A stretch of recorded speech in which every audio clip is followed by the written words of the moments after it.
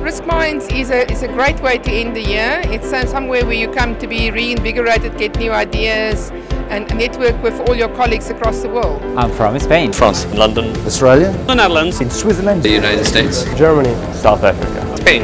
RiskMinds International, in my view, is the best conference for risk management in the globe. So it brings a lot of industry practitioners, supervisors, consulting firms. It's a great bunch of uh, experts that come together. Uh, you not only learn a lot, but you also have a great networking opportunity. The opportunity for networking is extraordinary. There's no other forum like it where you get to meet so many top risk professionals at one time and talk about the issues that matter. One of the reasons I love coming here is it gives me a great feel for what the agenda is for, for industry participants and also for academics.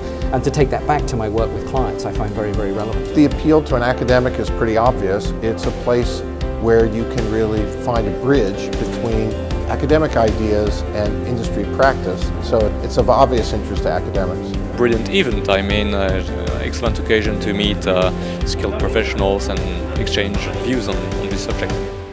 RiskMind conference I think is a good place for having a big overview of what's the risk management around the world.